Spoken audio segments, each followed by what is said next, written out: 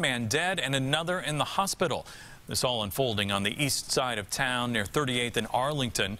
And that's where RTV6's Liz Adiola is tonight with new information.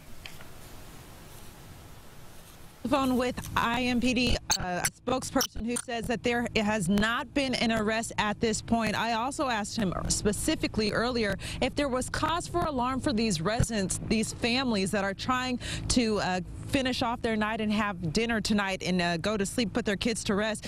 Uh, I think right now it appears to be pretty contained. Um, we don't believe anybody to be on the loose uh, at this point.